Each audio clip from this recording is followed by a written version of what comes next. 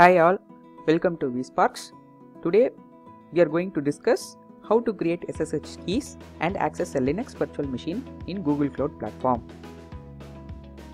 We are going to create these SSH keys using PuttyGen software.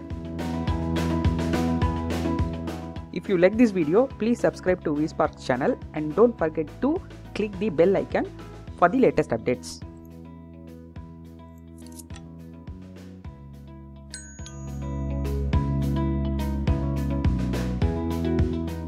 This is the agenda of this video. We are going to discuss what are SSH keys and some concepts of SSH key pairs and we are going to see the demo on these steps.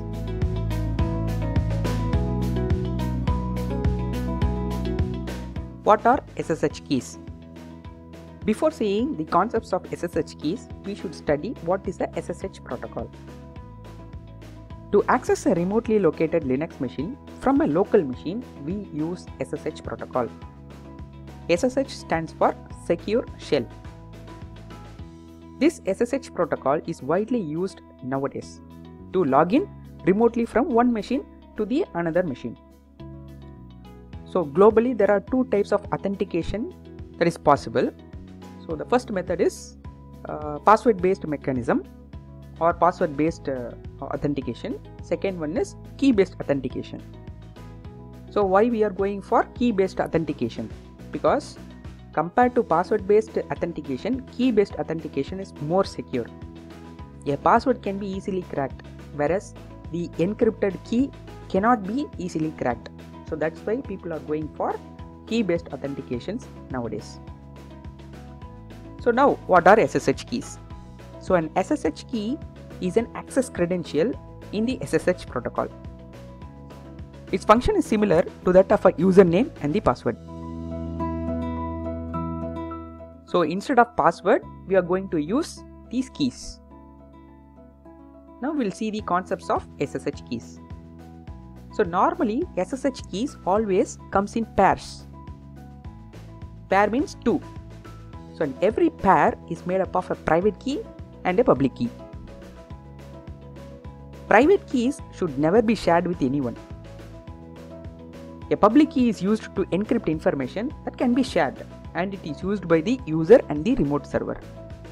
So when you create an SSH key pair, it consists of two keys that is the private key and the public key. Private key will get downloaded to your local machine whereas the public key you, you need to share it to the user and the remote server. To use this authentication methodology, first you need to generate your own SSH key pair. Once the key pair is generated, the next step is to put the public SSH keys on the remote server. You know obviously SSH key pair will contain a public key as well as a private key. So after completing these steps, use your terminal to enter into your SSH username and the IP address of the remote system. So this will initiate a connection to the remote system using the SSH protocol. So in the client terminal, you need to mention your private key. So these are the algorithms, I mean the encryption algorithms that are used to create these SSH keys. You should choose any one of these algorithms at the time of your creation. So now we will see the demo on how to create and access a Linux VM in Google Cloud Platform using SSH keys. Now step 1. So install Putty or PuttyGen in your local computer. So this step is already done. I mean the installation of Putty and the PuttyGen is already done. Now in the step 2 we are going to generate keys using PuttyGen and download the private key. Just open your PuttyGen software. Just click generate. Before that make sure that you choose any one of these encryption algorithms. So I am choosing RSA algorithm. Now you select generate. Now you roll your cursor all over here. So once this is done, you will be getting these things. And here you mention the username. So I am mentioning it as admin. Now your key is ready. you need to save your private key first just click save private key. So it is asking uh, that you are going to save this key pair without a passphrase just say yes. So in the desktop uh, just save it uh, and you can give any file name. I'm giving it as my key.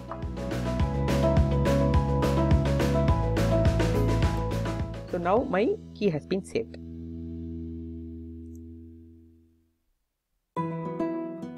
now create a Linux VM and upload the public key to the Google Cloud platform this is your third step now you log into your Google Cloud console.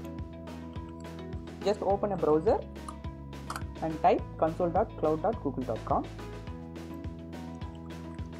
Enter your username and the password here.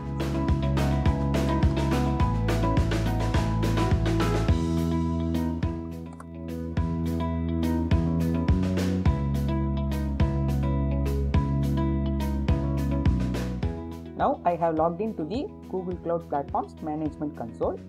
Just click your navigation menu, go to Compute Engine, just select VM instances. Make sure that you are in the correct project. So in this page, just click Create. Give any name to your instance and you select any of this uh, instance type so for time being I am selecting F1 micro shared for instance. This is your uh, uh, boot image. So Debian image I am selecting and beneath that under security just enter your public key here. So your public key is available with PuttyGen. So copy from here to here paste the same here just say create so this is going to be your public key. So now my instance is getting deployed. Let me resume the video once it is deployed. Welcome back. Now my instance got deployed. With this step 3 got over. Now step 4 now we are going to access my linux vm using the putty with the help of my private key.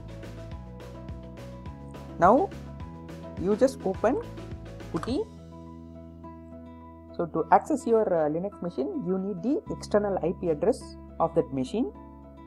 So just use your console to extract the external ip address. Now go to putty again. Paste the external ip address in the inventory side. Just click ssh or expand ssh click auth. Mention your private key here so my key is going to be my private key. Click it. Say open. Open. So now log in as the username admin because admin is the username which you use to create your keys. So that's why the name admin. That's it. You logged in with the help of the private keys. That's all about the demo this is the summary of this uh, video which we have discussed so far. Thank you from vsparkz and thank you for watching